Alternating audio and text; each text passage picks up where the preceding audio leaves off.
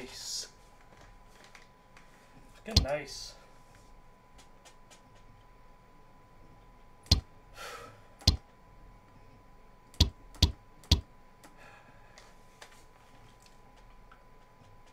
I think I'm starting to like the idea of moving back to the fucking public test build. Because this is a personal best. And Scorespy would have lagged the second I got that.